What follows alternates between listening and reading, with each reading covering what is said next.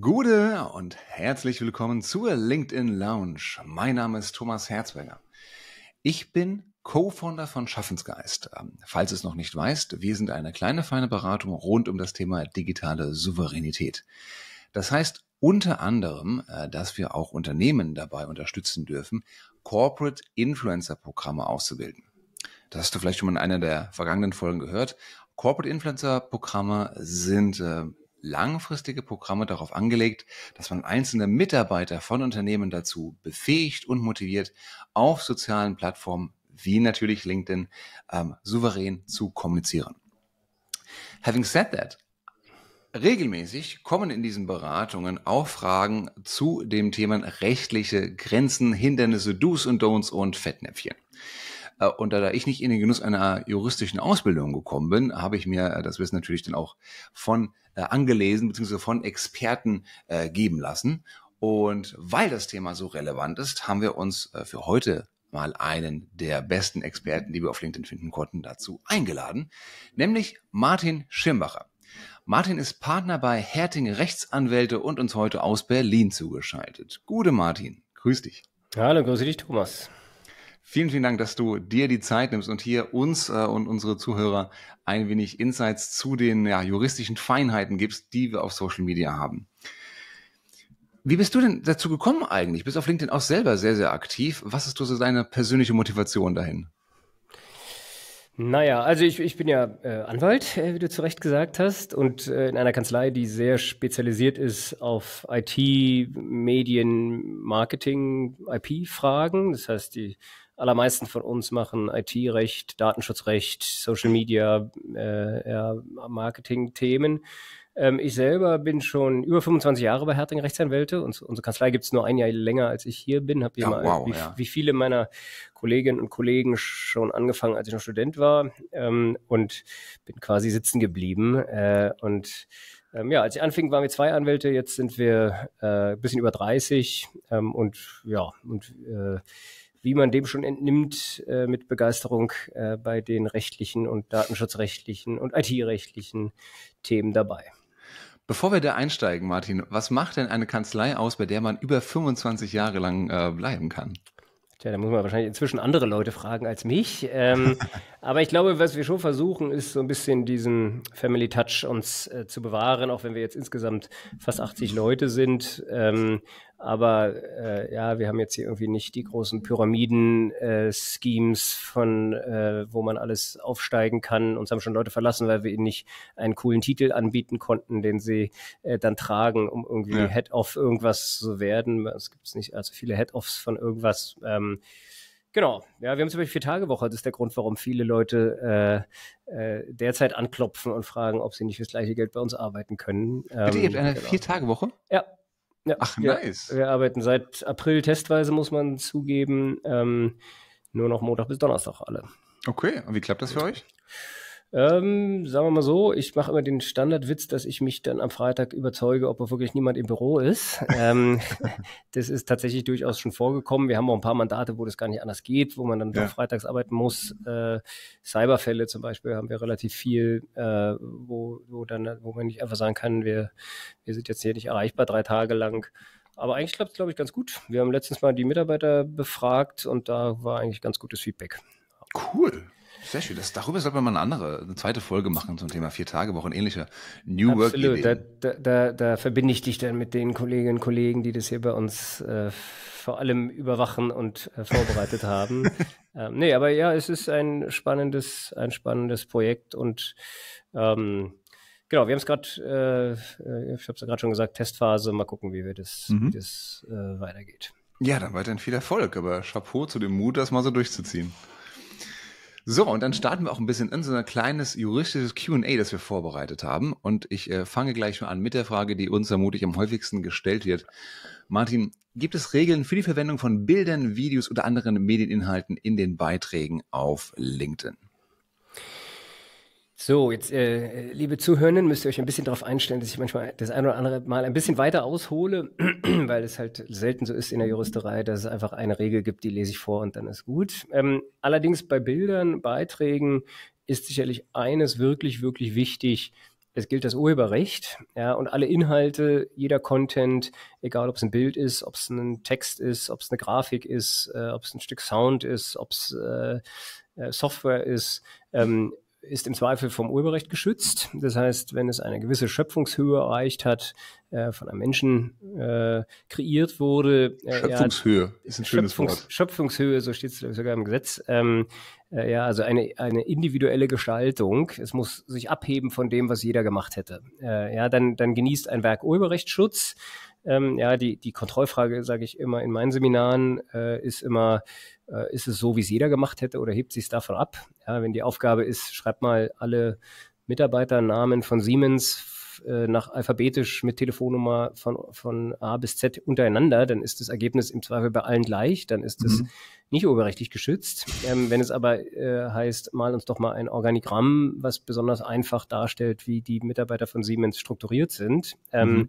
dann wird das Ergebnis im Zweifel bei allen anders aussehen und dann ist es urheberrechtlich geschützt. Jetzt schweifen wir schon bei der allerersten Frage ab. Äh, die Frage war ja, welche Regeln gibt es als Corporate Influencer? Die Message ist, ihr dürft nicht einfach Inhalte, die ihr irgendwo findet, übernehmen ähm, und auf eure in euer LinkedIn-Post ähm, integrieren. Ja, wenn es äh, ein Gedicht ist, was ihr irgendwo gefindet, gefunden habt, ein Meme, äh, was ihr irgendwo gefunden habt, ein Bild, was ihr irgendwo heruntergeladen habt, dann hat, hat im Zweifel jemand ähm, ein eigenes Urheberrecht daran und dann darf man es äh, nicht einfach kopieren, ohne den Urheber oder den Fotografen, wenn es ein Bild ist, äh, zu fragen. Mhm. Normalerweise ist es ja so, dass dann, wenn ich Bilder von meiner Company zur Verfügung gestellt habe oder Videos, dass ich die dann aber schon benutzen kann, weil da ja das Einverständnis mit inkludiert ist sozusagen, richtig? Wenn eure Company das ordentlich gemacht hat, dann ist es so. Äh, ja, die Fälle, die bei uns auf dem Schreibtisch landen, äh, vor allen Dingen bei den Kollegen, die sich mit den streitigen Fällen befassen, das jetzt nicht, bin jetzt nicht ich, aber das haben wir natürlich auch. Äh, da landen ja immer die Fälle, wo es dann doch nicht so toll war. Und da landen durchaus auch Fälle, wo Influencer Ärger bekommen, weil sie ein äh, Bild verwenden, äh, was sie zur Verfügung gestellt bekommen haben von einer Agentur oder von einem Arbeitgeber. Ah. Äh, äh, ja, du bist, das ist vielleicht auch die Message als derjenige, der einen LinkedIn-Kanal betreibt, ähm, verantwortlich für alles, was dort äh, drauf sich abspielt. Und wenn du dort urheberrechtlich geschützte Inhalte postest, ähm, äh, ja, und derjenige, der die Rechte daran hat, sich bei dir beschwert, dann bist du erstmal verantwortlich, egal ob die Bilder jetzt von deiner Company kamen oder nicht. Wenn es so ist, dass die Company dir die zur Verfügung stellt in irgendwelchen Social Media, internen Social Media Kanälen, hier nehmt doch das, äh, ja, zur Verfügung stellt und ihr nehmt das, bekommt dann Ärger, dann, hm. dann ist sicherlich die Erwartung, dass äh, die, die, das Unternehmen sich auch darum kümmert, diesen Ärger aus der Welt zu schaffen und etwaige ja. Kosten übernimmt, äh, berechtigt. Äh, so wird es dann in der Regel sein. Aber nach außen bleibe ich als äh, Corporate Influencer verantwortlich. Faire Antwort. Oh, ich sehe natürlich für mich selber ein hartes, ein hartes Gespräch hier, Martin. ähm, wie sieht es denn aus mit, wir gehen jetzt mal die Gattung vielleicht so ein bisschen durch. Ähm, wie sieht es denn aus mit den beliebten, bekannten GIFs oder Memes, die ich auf Plattformen wie Giphy zum Beispiel finde, oder auch Fotos von ähm, vermeintlich lizenzfreien Bildern auf Plattformen wie Unsplash? Ja, auch hier gilt schlechte Nachricht, genau dasselbe. Äh, ja, die, natürlich ist es so, wenn ich jetzt auf Pixabay oder Unsplash mir ein Bild runterlade, wird mir dort, obwohl es absurderweise lizenzfrei heißt, ich weiß gar nicht, was es eigentlich heißen soll, weil eine Lizenz bekommt man gerade, wenn man sich dort die Bilder herunterlädt. Äh, mhm. ja, die Lizenz heißt ja nichts weiter als die Berechtigung äh, des Bilds zu dem jeweiligen Zweck, zu der ihm eingeräumt wurde, äh, zu verwenden. Insofern sind die gar nicht lizenzfrei, sondern man kommt gerade eine Lizenz. Es mag sein, dass man nichts dafür zu bezahlen hat, aber eine Lizenz kriegt man. Ähm, äh, ja, und wenn es so ist, dass äh, dann jemand kommt und sagt, na, er hätte aber Rechte daran, dann kann ich zu dem zwar sagen, na, aber es wundert mich, äh, weil ich das Bild gerade bei Pixabay heruntergeladen habe und da steht doch, dass Pixabay sich die Rechte gesichert hat. Äh, das kann mhm. doch gar nicht sein. Ähm, wenn der dann sagt, ja, ich kenne aber Pixabay gar nicht äh, und vielleicht ist es ja so gewesen, dass jemand sich das Bild äh, bei mir geklaut hat, dann bei Pixabay hoch, hochgeladen hat und du hast es dir da guten Glaubens runtergeladen. Ähm, äh, ja, das ändert an meinem Unterlassungsanspruch als Urheber ähm, nichts. Und das mhm. ist auch richtig. Ja, das Urheberrecht kennt keinen, jetzt kommt auch ein juristischer Begriff, keinen gutgläubigen Erwerb. Ja, Im Eigentumsrecht gibt es sowas, im Urheberrecht gibt es sowas nicht. Ähm, mhm. Ich kann nicht, ich, ich werde nicht sozusagen äh, in Anführungszeichen, die JuristInnen mögen es mir verzeihen, Eigentümer eines Bildes, wenn ich, wenn ich es gut, glaube ich, irgendwo heruntergeladen habe, ja, sondern dann bin ich nach außen dran.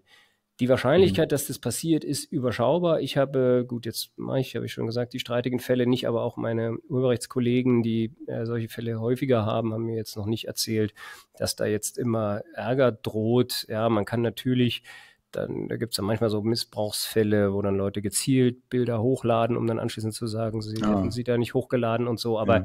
das ist dann schon eher die Ausnahme. Äh, in der Regel kann man sich darauf verlassen, dass man dann da keinen Ärger bekommt. Aber in der ja. Theorie äh, ja, ist man nach außen äh, oder in der Praxis ist man nach außen erstmal verantwortlich und theoretisch ja. kann man, kann das schon passieren. Ist am Ende eine Risikoabwägung, inwieweit man sich da verlässt auf das, was da so mhm. äh, steht. Aber es gibt ja auch Plattformen, da ist es eigentlich offensichtlich, dass der Urheber eigentlich möchte, dass seine Inhalte wiederverwendet werden. Und ich gehe mal auf Giphy zurück, kurz. Da gibt es ja auch Accounts von Unternehmen wie der Deutschen Bahn zum Beispiel, die auch ganz zahlreiche GIFs zur Verfügung stellen, als Sticker zum Beispiel, die ich dann auf Instagram oder ähnlichen auch mitverwenden könnte.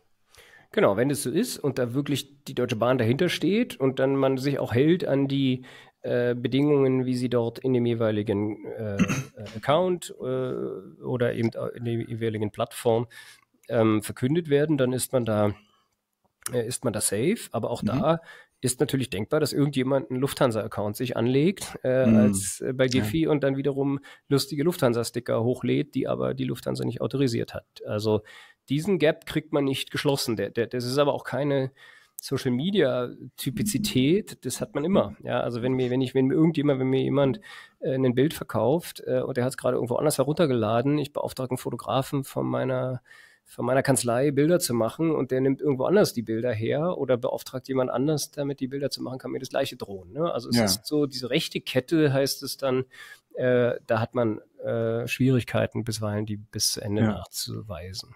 Wie kann ich denn sicher gehen, dass mein, mein Bild, mein Content, den ich finde, dass ich den verwenden darf, wenn es nicht explizit dabei steht? Selbst wenn es dabei steht, kannst du nicht sicher gehen, weil da ja sonst was dabei stehen kann. Äh, ja, du, du kannst es nur, also äh, es gibt, es gilt die Weisheit, äh, ja, wenn ich sicher sein möchte, dass ein Inhalt, ähm, äh, dass ich die notwendigen I äh, Rechte für einen Inhalt habe, muss ich den Inhalt selber kreieren. Da muss ich selber äh, äh die Fotos machen. Ja, das die ist aber Garantie, die ich habe, was, selber machen. Genau, was, was da, da bin ich dann äh, sicher, dass dann da niemand anders kommen kann. Da kommt es möglicherweise noch ein bisschen drauf an, was auf dem Bild drauf ist. Ja, da kann mir dann auch noch Unbild drohen, aber äh, erstmal äh, bin ich natürlich für die ähm, äh, äh, ja da verantwortlich und ich ja und und wenn ich jetzt einen Fotografen beauftrage, dann wird es im Zweifel so sein, dass der Fotograf äh, ähm, mir dann die Rechte einräumt. Äh, ja, das wird schon in aller Regel gibt es dann da auch keinen Ärger, das wird dann schon in Ordnung sein. Ähm, aber eine hundertprozentige Sicherheit gibt es nicht. Hm. Also hundertprozentig nur, wenn man es komplett selber macht. Genau, die, die schlechte Nachricht. Ja. Aber sag mal, so auf Plattformen wie, wie Canva zum Beispiel habe ich auch jede Menge Stockfotos, Stockvideos, Stockmusik, äh, Grafiken, Vorlagen und so weiter. Bin ich da safe? You're never safe. Ähm, ja, du, du, du wirst dich erinnern, äh, jetzt gerade vor ein paar Monaten war doch diese Diskussion, ob ich Musik verwenden darf, die mir Instagram zur Verfügung stellt. Ja, genau. Ähm, äh, und da hat man, das haben auch jahrelang alle Leute gemacht und gedacht, naja, wenn die Instagram zur Verfügung stellt, dann werden die schon die Rechte äh, daran äh, haben. Ja. War aber nicht so. Hatten sie nicht. Oh. Äh, ja, und dann, und dann kann es mir passieren, dass ich mit einem, in dem Fall, äh, einen Künstler Ärger bekomme, weil ich die, die Tonspuren, die dort eigentlich for free zur Verfügung gestellt werden, nutze, um meinen ähm, gewerblichen Content äh, aufzuhübschen. Äh, mhm. Ja, das kriege ich nicht aus der Welt, dieses Thema. Ja, mhm. Also ich, äh, wie gesagt, ich, bei Canva habe ich nicht gehört, dass dort Ärger gegeben hat. Äh, ja, aber wenn es solchen, aber man ist davor nicht vollständig frei. Man ist mhm. davon nicht vollständig gefeit so. Spielt das eigentlich eine Rolle, Martin, wie viele Follower ein Nutzer, eine Nutzerin hatte, die diesen Content verwendet. Also, du hast ja gerade schon gesagt, ist es gewerblich in einem Unternehmensaccount zum Beispiel oder ein Influencer mit einer großen Reichweite. Wir erinnern uns alle an das Beispiel von Frau Hummels damals, die der Ärger bekommen hat. Ähm, oder wenn ich jetzt, ich sag mal, eine, eine kleine äh, Leuchte bin mit wenigen Followern, ist das dann weniger relevant oder genauso schlimm?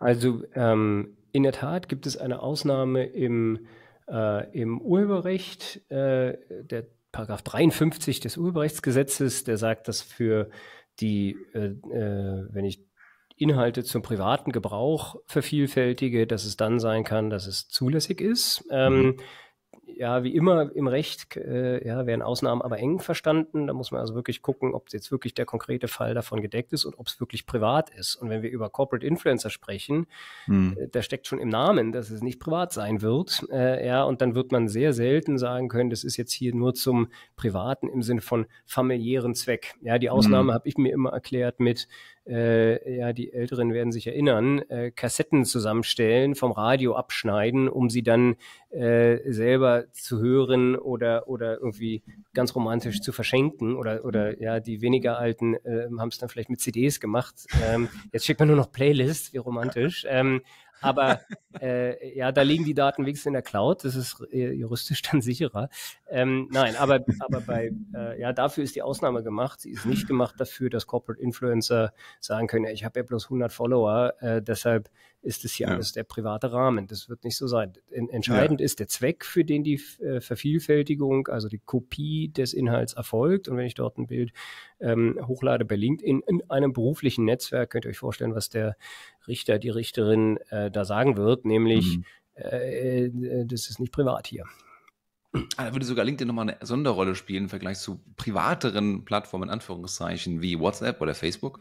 Ja, kann man sagen, dass äh, LinkedIn dort als berufliches äh, Netzwerk äh, eine Sonderrolle ähm, spielt. Äh, ja, jetzt kann man sagen, wenn dort ein ja, also ich wollte gerade sagen, wenn er jetzt ein Student ist und er ganz frisch und dann gleich beim ersten Bild, aber auch da, das ist, es mhm. ist nicht Privatvergnügen, was ich dort mache. Da, da, würde ich in der Tat zwischen den Plattformen unterscheiden. Ähm, ja, privater Gebrauch, äh, da würden sogar manche Juristen, besonders die auf, auf der Seite der Creators stehen, sagen, also wenn ich etwas auf einer, auf einer Plattform, die von einem US-amerikanischen Unternehmen betrieben wird, hochlade, äh, ist es immer nicht privat, ja, weil es eben im Netz für mhm. alle verfügbar ist. Äh, da mag man sich dann drüber streiten, aber, aber bei der, beim Corporate Influencer-Tum äh, hört die Privatheit jedenfalls auf. Ja. Ach, ich bin auch gerade so melancholisch bei dem Kassettenbeispiel. Liebe, ja, siehst du, die richtigen, die richtigen Triggerpunkte finden. Ja, genau. Liebe Zuhörerinnen insbesondere, solltet ihr mal in eurem früheren Leben, in eurer Jugend eine Kassette bekommen haben von einem Verehrer, da könnte ich sicher sein, dass er sich dafür viel, viel Mühe gegeben hat. Dass er nämlich handwerklich auch echt Aufwand, die Dinger. Schick, schickt sie nicht ein, weil wir haben keine Möglichkeit mehr, die abzuspielen.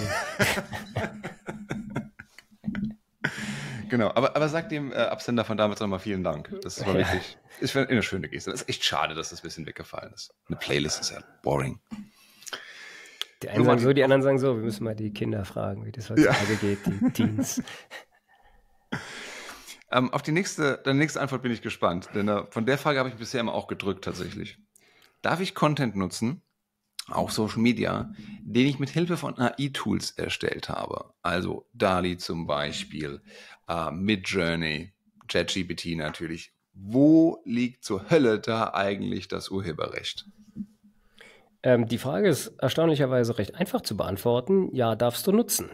Ich hatte vorhin und hatte schon fast erwartet, dass du gleich einhakst, ja, bei meiner Definition, was ist das Urheberrecht äh, ähm, und wann ist ein Werk urheberrechtlich geschützt, gesagt, dass ähm, es auf die Schöpfungshöhe ankomme äh, und dass das Urheberrecht voraussetzt, dass ein Mensch sich Gedanken gemacht hat, eine persönlich geistige Schöpfung äh, passiert ist. Und genau daran fehlt es bei der AI, äh, bei AI kreierten Inhalten, ähm, sondern es ist eben eine Software, eine Maschine, die den Inhalt dann eben kreiert hat, mhm. ähm, sodass das Werk, was am Ende herauskommt, tatsächlich dem Urheberrechtsschutz, wie wir Juristen sagen, nicht zugänglich ist. Es kann nicht urheberrechtlich geschützt sein, weil es daran, weil es kein Mensch ähm, äh, erstellt hat, das Endprodukt. Ich, ich sehe schon das nervöse Zucken in deinen Augen, ähm, aber aber mein schöner Prompt, ich habe doch äh, da mir so viel Mühe gegeben mit dem Prompt und ist es nicht, äh, kommt nicht da das Urheberrecht her und es ist doch auch mitnichten so, wie es jeder gemacht hätte, weil ich da ja anderthalb Tage gefeilt habe an dem äh, idealen Prompt.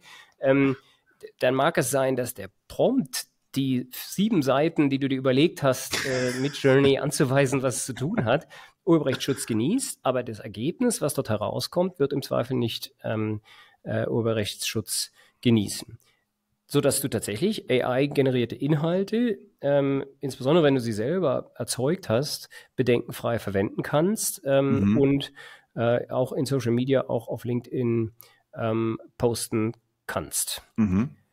Ich habe mein nervöses Zucken war noch von vorhin von den anderen Themen, die du angesprochen hast. Ähm, okay. Das mit AI bin ich fein mit.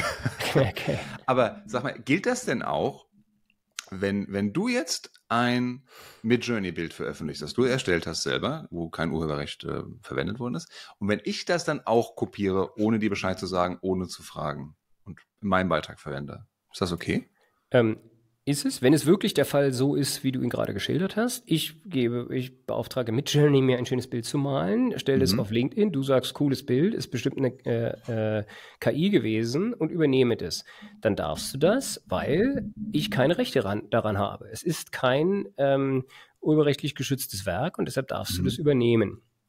Die Praxis ist allerdings so, dass ähm, ich ja selten ein Bild einfach so, wie es, oder insbesondere ein Text, nehmen wir mal, ja, so wie er aus ChatGPT oder aus Midjourney kommt, äh, mhm. verwenden werde, sondern ich bearbeite das noch ein bisschen. Und wenn es dann so ist, dass ich, äh, dann, dann kann es sein, dass ich an dem, dass sozusagen meine Bearbeitung dazu führt, dass ich wiederum, schöpferische Eigenleistung, mhm. ähm, an dem Gesamtbild dann doch wieder ein eigenes Recht habe. Das kannst du ja kaum wissen. Äh, ja. deshalb, deshalb wäre ich trotzdem vorsichtig. Äh, ja, aber wenn es jetzt eine Plattform ist, die äh, ähm, AI-generated Content bereitstellt, dann ist es in der Tat so, dass ähm, ja, wenn du siehst, ah, das ist doch daher, äh, dann, dann kannst du dieses Bild verwenden, weil es keinen Urheberrechtsschutz ähm, ähm daran gibt. Dann kann sogar die absurde Spannend. Situation, ich hoffe, der Twist ist jetzt nicht zu so viel für die Zuhörenden, die gerade beim Joggen sind, aber dann kann sogar die, die absurde Situation eintreten, dass ich als derjenige, der die Plattform genutzt hat, möglicherweise für die Nutzung der Plattform sogar was bezahlt hat, ähm, siehe mit Journey, ähm, mhm. gebunden bin, weil in den Nutzungsbedingungen steht, ich darf nur das und das und das mit den Bildern machen und nicht diese oder jene Sachen, äh, dass mir die Rechte, dass ich weniger Rechte habe als du, der das Bild sieht und anschließend und erkennt, es ist ein, ein äh, KI-Bild, es kann kein Urheberrecht bestehen, du hast keinen Vertrag mit Midjourney, bist deshalb an meine Beschränkungen nicht gebunden ähm, Ach, und kannst dann mit dem äh, Inhalt tatsächlich tun und lassen, was du willst. Das ist krass, okay. Das, das ist krass, es soll nur, es soll nur meine, meine Warnung von vorhin, kopiert nicht einfach Dinge, die ihr im Internet äh, gefunden habt, nicht aufheben, die Warnung gilt natürlich trotzdem, weil ihr nicht wisst, ob das wirklich vollständig AI-basiert ja. ist oder ob dort äh, Hand angelegt wurde und die, die, äh, die Person, die das veröffentlicht hat, dann doch aus irgendeinem Grund eigene Rechte daran hat. Okay, jetzt ich will noch, ein, noch eine letzte Frage dazu. Ich will die Schraube nochmal weiter drehen. Was ist denn, wenn ich ein Bild nehme, ein bekanntes Bild, das jemand anderes gemacht hat, also im Sinne von Gemälde oder Fotografie, wo ich definitiv nicht Urheber bin, lade das als Vorlage in einem Tool wie Midjourney hoch und sage dann, Midjourney, mach mir auf Basis dieses Bildes etwas sehr ähnliches, aber was anderes. Ja, dann begehst du im Zweifel eine Urheberrechtsverletzung, weil du das Bild, unterstellt es sei urheberrechtlich geschützt, ja. bekanntes Bild, der Urheber ist noch nicht 70 Jahre tot, sondern äh, äh, frönt weiter seines Lebens. Ähm, äh, ja, dass du das bei Midjourney hochlädst, führt dazu, dass du eine Urheberrechtsverletzung begehst. Ähm, das wird man möglicherweise dem Endprodukt nicht ansehen, ja, vielleicht mhm. doch wegen Style, aber das Endprodukt ist dann keine Urheberrechtsverletzung, aber die Tatsache, dass du ein Bild genommen hast und hochgeladen hast, ist eine Urheberrechtsverletzung. Es ist übrigens auch eine große Diskussion, ob die Engine ob, ob OpenAI mit ChatGPT oder Stable Diffusion, Midjourney und so weiter, ob die eigentlich Urheberrechtsverletzungen begehen, dadurch, dass sie ja unendlich, na nicht unendlich, aber sehr viel Content gescreent, kopiert, hochgeladen ja. haben, um es zu nutzen. Ob die vielleicht Urheberrechtsverletzungen begangen haben, indem sie sich äh, diese Inhalte äh, äh, zunutze gemacht haben, aber die, äh, die Nutzung und die, das AI-Product, was da am Ende rauskommt, ähm, äh, ist, da wird deshalb nicht zur Urheberrechtsverletzung. Ah, Wahnsinn. Super interessant, super interessant. Okay, gelernt, verstanden.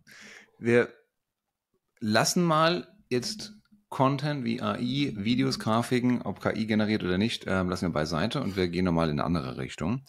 Ähm, bleiben auf LinkedIn. Wenn ich als Corporate Influencer oder sagen wir als sehr ambitionierter Vertriebler auch auf LinkedIn aktiv bin, im Auftrag, im Namen meines Unternehmens, brauche ich dann ein Impressum auf meinem LinkedIn-Profil oder ein Link zu einem Impressum? Also Impressum ja, ergibt sich aus Paragraph 5 des Telemediengesetzes. Da kann man mal reinschauen. Da steht auch drin, was man dann, wenn man denn dazu kommt, dass ein Impressum erforderlich ist, alles angeben muss. Und da steht, ich äh, zitiere es deshalb, weil man da vielleicht sich so seine eigenen Gedanken machen kann.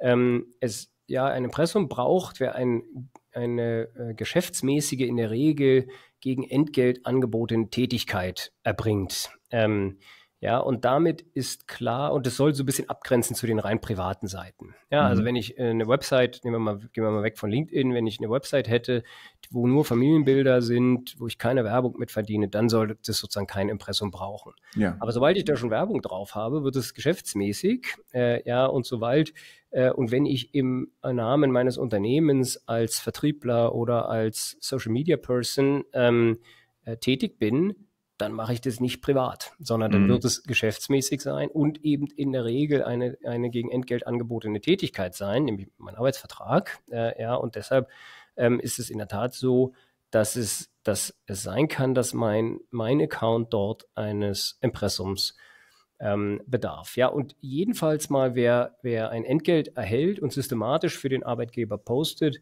wird im Zweifel unter die Norm fallen, also unter diesen 5 TMG äh, und muss ein Impressum vorhalten. Mhm. Also im Zweifelsfall lieber machen, auch wenn es nicht im Arbeitsvertrag dediziert steht, dass ich jetzt nicht Social Media Beauftragter bin zum Beispiel. Ja. Ähm, aber es ist quasi ein unausgesprochener oder ein, ein nicht schriftlich fixierter Teil meines Jobs. Genau. Ähm, vielleicht noch ein Tipp. Äh, viele haben ja zu Recht Bedenken, da ihre private Adresse einzuschreiben. Ähm, ja, viele wollen ja nicht äh, da jetzt irgendwie in, in äh, da ihre Wohnanschrift angegeben mhm. wissen. Mhm. Ähm, allerdings, was, was auch nicht geht, ist da äh, so zu tun, man sei gar nicht der Betreiber, sondern das Unternehmen sei der Betreiber. Man muss sich natürlich schon Gedanken machen, wer, wessen Präsenz ist es eigentlich? Und wenn ich, mhm. Martin Schirmbacher, jetzt nicht selbstständig als Partner hier bei Herting wäre, sondern ein angestellter Influencer, äh, ja, dann äh, und ich schreibe da Herting Rechtsanwälte, Part GmbB als Betreiberin rein, dann, dann äh, ist es ein Firmenaccount. Dann gehört der der Firma und, und wenn, ich, wenn ich gehen würde, äh, dann, dann, jedenfalls laut Impressum, äh, ja, könnt, müsste ich denen das überlassen. Das heißt, ich, ich bin dann sozusagen gar nicht äh, der Betreiber dieses äh, Kanals. Deshalb wäre mein Tipp, schreibt euren Namen rein, aber mhm. schreibt CO, also Care of, ähm, Arbeitgeber-Adresse. Äh, mhm. Ja, maßgeblich ist, es muss zwar eine ladungsfähige Anschrift sein, das heißt, äh, die, die Idee dahinter ist, dass, dass wenn jemand ein Problem hat mit der Seite, dass er unter der Anschrift, die dort angegeben ist, auch äh, Gerichtspost zustellen kann. Ja, und mhm. wenn es mhm. aber so ist, dass du da ab und zu mal bist und es jetzt nicht ein völliges Remote Office ist, äh, dann ähm, äh, ist es so, dass ähm, es äh, ausreicht, die, die, Firmenadresse anzugeben, aber klar muss sein, dass ich als, der, als, dessen, als die Person, deren Gesicht dort zu sehen ist, äh, Betreiberin äh, des ja. Accounts bin. Aber muss das Impressum dann noch wirklich drinstehen oder reicht da nicht irgendwo ein Link zum Impressum auf der Webseite des Unternehmens? Genau. Also ein Link reicht. Ähm, das ist auch, äh, halte ich auch für empfehlenswert. Allerdings mhm. ist es natürlich so, ähm, wenn ich sage, das ist ja gar nicht, äh, wenn ich nur auf das Impressum verlinke, dann verlinke ich ja auf das Impressum des Unternehmens, dann, mhm. dann gäbe es wieder Raum zu sagen, ja, das Unternehmen ist hier der Betreiber der Seite ähm, dieses Kanals, mhm. was ich ja mhm. gerade nicht möchte. Ja, mhm. also dann, dann vielleicht sagen, ähm, äh, ja, Vorname, Nachname, äh, CO, CO, Unternehmen und dann ja. aufs Impressum verlinken, mhm. dass man dann da die ganzen Einzelheiten ähm, findet. Aber es ist auch, ja, ich, zum Beispiel steht da drin, man muss eine Umsatzsteueridentnummer angeben. Steht mhm. in 5 TMG. Hat auch nicht ja gar nicht. Ja, ja. Äh, wenn ich jetzt aber aufs Impressum des Unternehmens verlinke, äh, dann steht da eine Umsatzsteueridentnummer. Eigentlich ist es irreführend. Eigentlich würde ich lieber nur dann angeben, ähm, äh, die Adresse des Unternehmens und viel mhm. mehr braucht es ja dann gar nicht. Ich bin ja gerade keine natürlich, ich bin ja eine natürliche Person und, und habe ja keinen, äh, ja, wenn ich jetzt mal kurz reinschaue in die Vorschrift, ähm, ich brauche eine E-Mail-Adresse, okay, äh, Name, Anschrift, aber die ganzen anderen Sachen, Handelsregister, Umsatzsteuer, mhm. Identnummer, fallen ja alle weg. Ich habe ich ja alles gar nicht, ja, wenn ja. ich dort als, also als Arbeitnehmerin äh, tätig bin.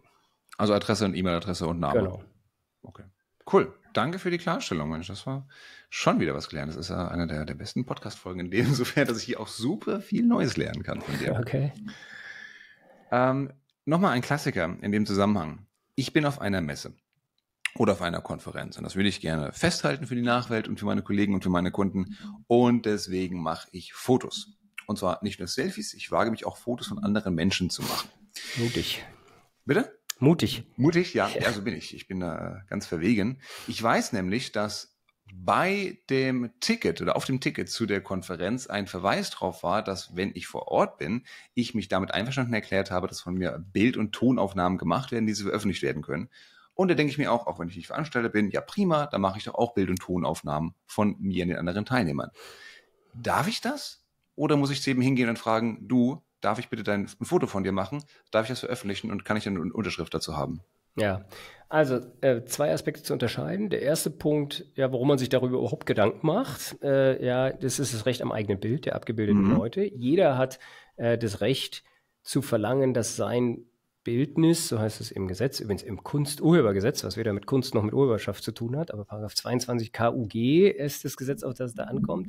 Ähm, ja, jeder hat das Recht, äh, dass, dass sein Bildnis nicht veröffentlicht wird. Äh, und, und insofern äh, ist es erstmal richtig, dass man sich da Gedanken machen muss. Es gibt eine Grenze im KUG. Die Grenze ist, hat irgendwann mal der Bundesgerichtshof erfunden, wenn man bloßes Beiwerk ist. Also wenn ich, wenn es, wenn ich austauschbar bin, also deine, dein, dein äh, nehmen wir mal an, du würdest dort ein Selfie machen mit äh, ähm, einer Kollegin, ähm, ja, und im Hintergrund sind noch zehn andere Leute zu sehen. Ja. Wo egal ist, wie, wer das jetzt ist. Ja, wo jetzt, ja. wenn das irgendwie Kanzler Scholz ist, dann würde man sagen, okay, das ist jetzt nicht egal, da, willst du, da geht es dir eigentlich nicht um die Kollegin, mit der du da Arm in Arm stehst, sondern da geht es dir um den Hintergrund. Ähm, aber wenn das nicht der Fall ist, irgendwelche Leute random vorbeilaufen, dann ähm, äh, kannst du äh, ja, dann, dann haben die da nie kein Mitspracherecht. Ähm, mhm. Jedenfalls, solange sie jetzt nicht im völlig schlechten Licht da äh, äh irgendwie zu sehen sind. Also mache ich äh, keinen Pfeil drauf, mache, sagt, die sind doof zum genau, Beispiel. Genau, genau. Oder die gerade am, an der Freilauftoilette stehen. Ja, das ja. ist vielleicht auch nicht so toll. Ähm, ja. Aber so ein Bild willst du eh nicht auf LinkedIn posten, sondern ein vernünftiges. Äh, ja, da musst du also tatsächlich die Leute fragen, die im Vordergrund ähm, zu sehen sind, die man erkennen kann und auf die es auch ankommt. Mhm. Deine Frage war jetzt aber, können jetzt sozusagen die Teilnahmebedingungen des ähm, Veranstalters dich retten? Kann es sein, dass ich sozusagen dann nicht mehr fragen muss? Da wäre mhm. ich sehr skeptisch, weil diese Teilnahmebedingungen gelten ja zwischen dem Veranstalter und den Teilnehmenden, aber mhm. nicht zwischen dir und den Teilnehmenden. Ob jetzt theoretisch denkbar ist, dass der Veranstalter sozusagen allen Teilnehmenden das Recht einräumt, von allen anderen Teilnehmenden Fotos zu machen.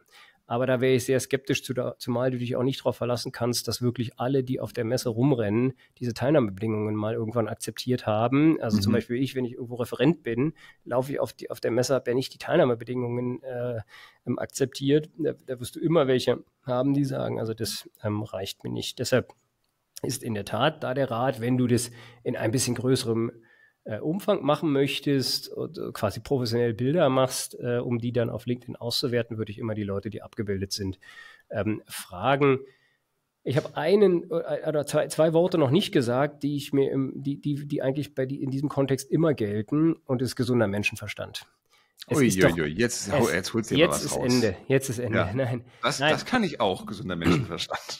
Aber ehrlich gesagt, ist doch da die, liegt doch da die Wahrheit. Äh, ja, du kannst die Leute zehnmal fragen äh, oder irgendwas unterschreiben lassen, wenn du, wenn du auf einer Veranstaltung, äh, ein Fall aus der Praxis, ja, wenn du auf der Veranstaltung unterschreiben, alle brav, dass sie damit einverstanden sind, dass Fotos gemacht werden. Ja. Und das Foto, was am nächsten Tag damals auf Facebook äh, veröffentlicht worden ist, von dem Social Media Manager dieses Unternehmens, war die Vorstandsvorsitzende mit dem Praktikanten kurz nach eins morgens Arm in hm. Arm. Da dann zu diskutieren, aber ihr habt doch beide gesagt, dass ihr einverstanden seid, ja, ist hm. sinnlos. Äh, mm. ja, abgesehen davon, dass die natürlich im Nachhinein dann auch äh, das wieder, das wieder äh, verlangen können, dass das rausgenommen wird und so weiter. Aber äh, ja, und, und, und, natürlich sollte man ein bisschen gucken, wie die Leute dort abgebildet sind, wenn man den Aufwand scheut, da jetzt alle zu fragen und, und dort alle irgendwelche Erklärungen zu unterzeichnen, die man ja dann aufbewahren und zuordnen muss und so weiter. Ähm, ja, würde ich sagen, wenn die Leute sehen, man fotografiert äh, ja. und wissen, was damit passiert, glaube ich, ist es im Zweifel in Ordnung. Halte ich für weniger gefährlich, als sich irgendwo aus dem Internet äh, Bilder zu klauen und online zu stellen. Was, was könnte, was würde mir denn blühen, wenn ich ähm, gegen diese Gesetze, Richtlinien äh, verstoße, im, im einfachsten ja. oder schlimmsten Fall? Also äh, du kommst nicht in den Knast, äh, ist ja schon mal was, äh, sondern, sondern äh, es droht, was in Deutschland ja so häufig droht, nämlich eine Abmahnung. Also mhm. die Person könnte kommen und sagen, also wenn sie jetzt äh, nicht einfach schreibt, oh, das finde ich aber gar nicht gut, da ist ja das Kleid verrutscht, könnt ihr das bitte rausnehmen, ähm, ja, wonach man sich richten sollte, ganz im Ernst, wieder gesunder Menschenverstand und da nicht ja. anfangen zu diskutieren.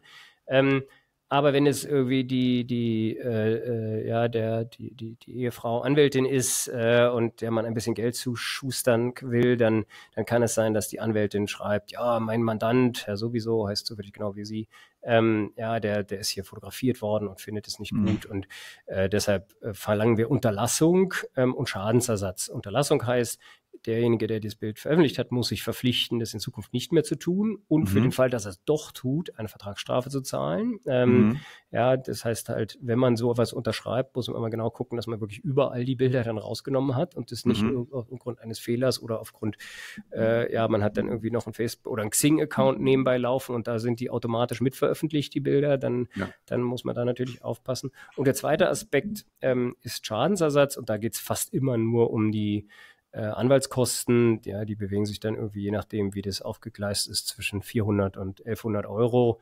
Ist natürlich für ein Bild sehr lästig, aber es ist nicht so, dass einen das äh, die Existenz kostet äh, und man da ähm, fürchten muss, dass man, dass man da irgendwie nie wieder auf die Beine kommt. Insofern sind die Risiken, wenn man so will, ähm, überschaubar, wenn mhm. man nicht, wenn man darauf ein bisschen vorbereitet ist und jetzt nicht äh, eine Mordsangst hat vor einer Abmahnung. Ja, also Abmahnung, also es sofort runternehmen, es auch in Zukunft nicht mehr veröffentlichen, auf allen anderen Plattformen runternehmen und dann schlimmstenfalls der Schadenersatz mit den Anwaltskosten, die du genannt hast. Genau. Okay, das ist, das ist immer noch doof genug, aber äh, das ist überschaubar. Vielen Dank für die Aufklärung. Ähm, sollte ich denn darauf achten, oder wie erlebst du das in der Praxis, dass die Leute darauf achten, eigentlich auf den Schutz ihrer ihrer Werke. Jetzt meine ich, spreche ich nicht von Künstlern, die natürlich da ihre Lebensunterhalt mit verdienen, sondern äh, Content Creator wie unser eins, ähm, die, wie der Name sagt, Content kreieren, äh, seien es Texte, seien es Bilder, seien es Grafiken. Ähm, in der Regel freuen wir uns ja, wenn unsere Beiträge auch geteilt werden und weiterverbreitet werden, wenn die Ideen irgendwo aufgegriffen werden. Idealerweise wird auf uns äh, irgendwo verwiesen, aber die wenigsten von uns würden ja hingehen und sagen, so, du hast hier mein mein Bild, meine Idee, meinen Beitrag geklaut. Ähm, jetzt wirst du aber hier mal abgemahnt. Ist das, wie siehst du das in der Praxis? Ist das, ist das notwendig? Sollten das mehr Leute machen? Ist das hier das Leben auf Social Media? Naja, es kommt halt schon drauf an. Also erstmal eine Urheberrechtsverletzung ist es ja nur, wenn eine, eine urheberrechtlich relevante Handlung vorgenommen wird. Also zum Beispiel mhm. eine Kopie. Ähm, wenn es nur ein Link ist und ich zum Beispiel äh, einen Teilen wäre ja nur eine Verlinkung auf den Beitrag und ich kopiere gar nicht das Bild neu, dann, dann ist ja. es, das darf ich sowieso machen, ohne den äh, Creator zu fragen. Ähm, und ansonsten, oh, ganz kurz, ja. wenn ich etwas verlinke, Hinweise muss ich nicht vorher fragen. Korrekt. Guter Korrekt. Hinweis. Weil es, weil es eben äh, keine, keine verbotene, vom Urheberrecht verbotene, beziehungsweise unter, der, unter, dem unter dem Vorbehalt des Einverständnisses des Urhebers gestellte Handlung ist. Ich darf mhm. nicht. Ähm, äh, ein Link ist fast immer ähm, zulässig, genau. Und ebenso ein Teilen ist ja nichts anderes als eine Verlinkung, wenn auch ein bisschen mhm. anders gestrickt, aber im Prinzip ist es so. Ähm, so, und jetzt die Frage, äh, ja, und, und da spielt jetzt wieder der gesunde Menschenverstand eine Rolle. Natürlich, wenn es so ist, dass ich, dass der doch froh sein wird, der Creator, dass ich das verbreite. Noch dazu, wenn ich ihn oder sie verlinke, ähm, dann ist, dann ist das auch in Ordnung. Ja, dann kann ich es auch genau so machen. Ähm, äh, ja, und muss dann nicht fürchten, wenn die sich im Zweifel bedanken und nicht fürchten, hm. dass ich jetzt da irgendwie mit der Keule komme. Ähm, aber äh, wenn, wenn ich mit meiner Einschätzung falsch lag und die, warum auch immer, den Inhalt exklusiv auf ihrem Kanal haben wollten, äh, dann wäre, wenn es tatsächlich eine Übernahme ist und es also Copy Control C, ja, äh, Ctrl V mäßig irgendwo anders hinkopiert wird, dann rettet mhm. mich der Hinweis auf den Creator nicht, weil die Urheberrechtsverletzung schon begangen wurde. Ja, mhm. insofern ähm, ja, wenn ich dort Zweifel habe und denke, pff, das ist ein komisches Unternehmen oder ein komischer Typ, und Unternehmen haben sich da zum Teil sehr äh, schwierig, ja, die, die stellen ganze Bildergalerien zur Verfügung, ja. aber schreiben dann runter, ja, nur für Presse. Und wenn ich dann aber gar nicht Presse bin, sondern äh, irgendwas nutze, um ein, ein, ein tolles Bild nutze, was ich irgendwie auf der Seite eines Wettbewerbers oder eines anderen Unternehmens gefunden habe, um meinen Post zu illustrieren, dann werden die ja. im Zweifel sagen, äh, nee, für dich war das nicht gedacht. Ja, also mhm. insofern ist tatsächlich äh, der Rat im Zweifel nachzufragen und zu, äh, zu fragen, ob diejenige Person, die das kreiert hat, denn einverstanden ist oder die die Rechte daran hat, äh, einverstanden mhm. ist oder nicht. Das klingt fair. Das heißt also auch bei Pressebildern gerne mal fragen. Da gibt es ja auch in der Regel direkt einen Ansprechpartner, der dabei genannt wird, genau. die dann auch, soweit ich das weiß, schnell antworten, ob ich das Bild verwenden darf. Das zum Beispiel kann ich ein Bild von der Lufthansa nehmen, um meinen äh, Beitrag über Flugangst zu verbildlichen. Ob die das wollen, weiß ich nicht. Genau. Vermutlich eher nicht. Ähm, sehr schön. Lass uns noch mal kurz über das Thema, das ist ein bisschen angeschnitten gerade, ähm, auch Werbung äh, sprechen. Als Corporate Influencer mache ich ja offensichtlich Werbung für mein Unternehmen. Genauso wie du jetzt sagen könntest, ich bin jetzt hier seit x Jahren bei, äh, bei der Kanzlei und finde das hier total super. Dann machst du Werbung dafür, genauso wie ich jetzt auch durch den Podcast Werbung für unser Unternehmen für Schaffensgeist mache. Ja. Ähm, warum ist das nicht kennzeichnungspflichtig im Vergleich zu anderen Medien wie Print, TV zum Beispiel, wo ja genau der Leser, der Hörer geschützt werden soll vor, vor dieser Vermischung aus redaktionellem Inhalt und werblichem Inhalt? Ja, also die, dieses Thema Kennzeichnung von Influencer-Postings ist ja ein sehr schwieriges. Äh, ja, der Bundesgerichtshof hat mehrere Entscheidungen jetzt dazu getroffen. Kathi Hummels hattest du schon erwähnt äh, in den vergangenen Jahren. Ähm, und da werden noch einige äh, dazukommen. Der Hintergrund vielleicht für die Zuhörenden ist das Schleichwerbeverbot. Ja, es mhm. macht einen Unterschied, ähm, ob ein scheinbar objektiver Inhalt eigentlich nur deshalb erscheint, weil dafür bezahlt worden ist, oder ob das die Person, die dort ähm, äh, nach außen tritt, das tatsächlich selbst vertritt, ja, und äh, selber dieser Meinung ist. Daher kommt dieses Thema ähm, Kennzeichnung. Ähm, und äh, der BGH hat da ein bisschen, wie ich finde, seltsame Entscheidung getroffen, weil er ähm, im, im Einklang mit dem abmahnenden Wettbewerbsverband da gesagt hat, also klar ist, wenn du Geld bekommst, dafür musst du kennzeichnen. Das scheint mir auch mhm. noch klar zu sein. Aber selbst mhm. wenn du kein Geld dafür bekommst, kann es ja sein, dass du deinen eigenen Wettbewerb förderst, liebe Kathi Hummels äh, oder liebe Pamela Reif, weil du ja selbst ein Unternehmen betreibst und ähm, das sei für die Leute nicht erkennbar. Deshalb musst du das kennzeichnen, selbst wenn du im Ausnahmefall von für den Steif-Teddy von Steif gar keine äh, Geld bekommen hast, den du auf das Gesicht deines Sohnes gelegt hast, damit der nicht ja. erkennbar ist. Ähm, ja, warum Kathi Hummels trotzdem gewonnen hat, und da kommt jetzt die Verbindung zu deiner Frage, ist, dass die Kennzeichnungspflicht entfällt, wenn aus den Umständen klar und eindeutig zu erkennen ist, ähm, dass es sich um Werbung handelt, dass die Person das nicht aus freien Stücken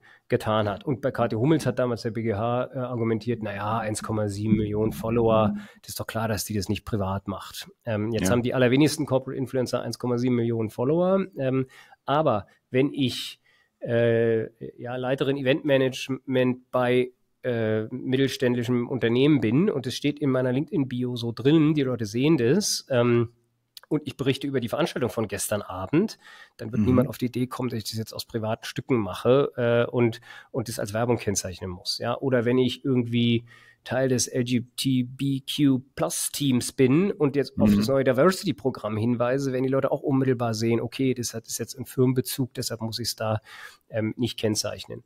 Ja, oder es gibt schon gar keine Kennzeichnungspflicht, wenn es gar nicht um mein Unternehmen geht, sondern um mich. Wenn ich schreibe, ich hätte jetzt hier ich oder mein Team äh, sind jetzt hier irgendwie ausgezeichnet worden. Wir sind, wir werden ja. ständig ausgezeichnet für Best Lawyer und Who's Who Legal, pipapo. Da muss ja. ich jetzt nicht sagen, das sei jetzt hier irgendwie Werbung für mich, weil es offensichtlich ist, dass es so ist. Ne? Deshalb ja. ähm, äh, braucht es das nicht. Aber wenn ich jetzt äh, aus einem Corporate Influencer äh, Programm Inhalte nehme, äh, äh, die mir da zur Verfügung gestellt werden, um mein Unternehmen äh, ins rechte Licht zu rücken und äh, was weiß ich, bei für Recruiting-Zwecke äh, schön zu machen, äh, dann kann es schon sein, dass es, dass ich es kennzeichnen, kennzeichnen muss, weil es dann eben äh, nicht unmittelbar sich aus den Umständen ergibt, dass ich das freiwillig gemacht habe, sondern dass ich dafür vielleicht was bekommen habe oder dass gerade mein Job ist, äh, da nach außen aufzutreten für das Unternehmen. Mhm. Also es muss deutlich sein. Genau. Die Motivation. Okay. Ja. Ähm, heißt das im Umkehrschluss auch, ich kann Werbung für mein eigenes Unternehmen, für meine eigenen Produkte machen, aber sobald ich jetzt sage, äh, keine Ahnung, äh, hier die, die Telefone von der Firma in Cupertino sind die besseren Telefone als von der Firma in Mountain View, ähm, das ist dann kennzeichnungspflichtig? Also für meine eigenen Produkte ist auch die Frage, ob es sich aus den Umständen ergibt, äh, dass es sozusagen so ist. Wenn es, wenn es, das hatte ich, hatten wir gerade mit äh, Pamela Reif, Kathi Hummels, ja, da hat mhm. der BGH zum Teil gesagt, na ja, also das sei jetzt nicht erkennbar, dass die eigentlich für sich Werbung macht. Aber wenn ich natürlich sage, äh, ja, das war ja mein Beispiel von eben, wir sind hier ausgezeichnet worden oder wir haben hier einen super duper Newsletter, ähm, ja, dann werden die Leute erkennen, ah, okay, das, der macht jetzt nicht Werbung, äh, das, also was soll sonst sein, wenn nicht Werbung für mich? Und natürlich ja, muss ja, ich nicht, eben. ja, muss auch die Lufthansa nicht als Werbung kennzeichnen, wenn sie ein Angebot machen oder wenn sie ein Angebot bewerben für einen Flug nach Kapstadt. Äh, ja, wer, ist ja klar, dass Werbung ist. Ja, äh, ja. Deshalb muss man sozusagen seine eigene Werbung für eigene Produkte nicht kennzeichnen, während in der Tat, wenn du von Apple Werbung dafür, äh, Geld dafür bekommen würdest, dass du immer mal wieder erwähnst, dass die Apple-Produkte besser sind als, als Wettbewerberprodukte, dann musst du es als Werbung kennzeichnen. Ja. Wie machen das denn die ganzen, ich weiß es gar nicht, die ganzen ähm, Produkttester und Unboxer auf, auf YouTube zum Beispiel?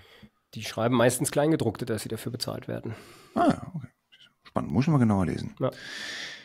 Mensch, Martin, da haben wir schon super viel Ground sozusagen, super viele Themen angesprochen, super viele Fragen besprochen. Ähm, ich weiß, du bist ein bisschen erkältet, deswegen möchte ich dich an dieser Stelle äh, vor weiteren Detailfragen äh, verschonen.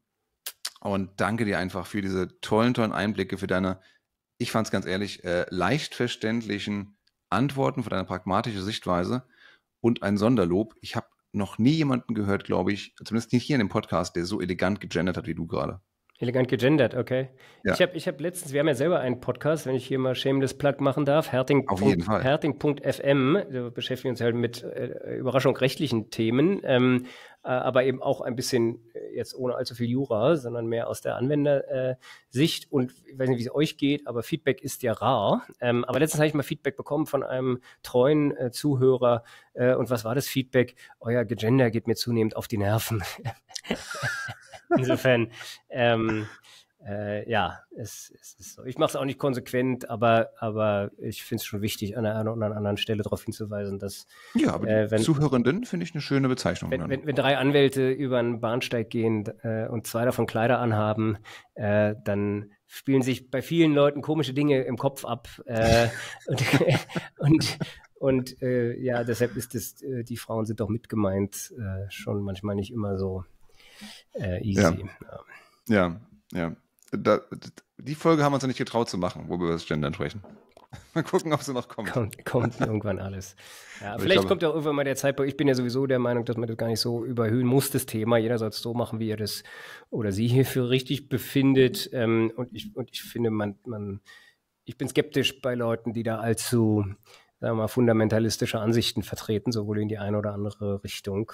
Ähm, aber für uns als Jurist Juristen und Juristinnen äh, ist natürlich Sprache wichtig. Da finde ich dann schon, dass man darauf achten kann. Ja, ich hoffe dass nicht, dass wir jetzt irgendwann mal Abmahnungen sehen, weil irgendwo nicht gegendert worden ist. Noch gibt es kein Gesetz in die Richtung. Ja. Aber, aber nur, ja, was es schon gibt, ist, äh, wer für einen Online-Shop verantwortlich ist. Es gibt jetzt schon mehrere Gerichtsentscheidungen, die eben äh, die Auswahl Herr oder Frau als einzige Möglichkeit und ein Pflichtfeld äh, für einen Verstoß gegen das allgemeine Gleichbehandlungsgesetz gehalten haben. Und wenn ich dort also nicht die ja. Möglichkeit habe, entweder eine äh, ja, divers oder, oder eben zu sagen, ich lasse es offen, ähm, oder das nicht als Pflichtfeld zu machen, dass ich dann also äh, mich dazu äh, Unterlassung verpflichten muss. Wow. Also, ja, was äh, heißt, was heißt Online-Shops? In jedem Kaufraum, äh, Kaufhaus gibt's ja äh, Männer, Frauen, Kinder. Ja, absolut. Also überall, wo es, wo man, wo man da eine Angabe machen muss, äh, ist man tendenziell äh, hat man es tendenziell schwer. Deutsche Bahn hat es bis zum OLG Frankfurt getrieben, äh, weil sie nicht ihre Bahncards äh, da anpassen wollten. Also wie es dann immer ist, bis der die Gerichte dann mal entscheiden, ist es überholt und äh, ist dann schon wieder alles anders. Aber genau. Ja, Spannend. Okay, das ist aber, soll das Thema einer anderen Episode sein? Absolut, sorry, ich äh, bin im Redefluss. Nee, prima. Also ich, ich, ich finde es ja auch toll, äh, dass ich nicht der Einzige bin, der dieses Problem, diese Fragen im Kopf hat. Ja. Martin, vielen, vielen Dank für deine Zeit, für dein Know-how. Ähm, den Podcast verlinken wir auf jeden Fall hier in den Show Notes und natürlich auch dein LinkedIn-Profil. Ihr seht, es lohnt sich, Martin Schimbacher zu folgen. Es lohnt sich, Hetting Rechtsanwälte zu folgen, ähm, damit man auf dem Laufenden bleibt, was diese spannenden Themen gibt. Martin, vielen Dank nach Berlin. Hashtag Werbung. Danke, Thomas. Bis bald. genau. Das war eine Empfehlung, keine Werbung. Ja, genau. In diesem Sinne, liebe Zuhörenden, vielen, vielen Dank auch dir fürs Zuhören. Ich hoffe, du hast genauso viel gelernt wie ich in dieser Folge der LinkedIn Lounge über die rechtlichen Fallstricke, Do's und Don'ts, wenn es darum geht, äh, wie ich auf LinkedIn und sozialen Medien mit meinem Content, mit GIFs, mit Fotos, mit Inhalten aus, sei es KI generiert oder manuell generierten, umgehen kann, was ich verwenden darf und was nicht. Wir haben nicht nur viel gelernt, wir haben auch ganz tolle Fachbegriffe gehört und gelernt wie Schaffenshöhe bloßes Beiwerk auf einem Foto und, an das, äh, Martin, nochmal vielen Dank dafür, dass man im Zweifelsfall den gesunden Menschenverstand auch benutzen darf. Das beruhigt mich ungemein. In diesem Sinne, bleib uns gewogen. Wenn dir die Folge gefallen hat, dann abonniere bitte diesen Podcast und lass uns gerne eine 5-Sterne-Bewertung da. Und dann hören wir uns auch bei der nächsten Folge. Bis dahin, alles Gute. Ciao, ciao. Tschüss, danke euch.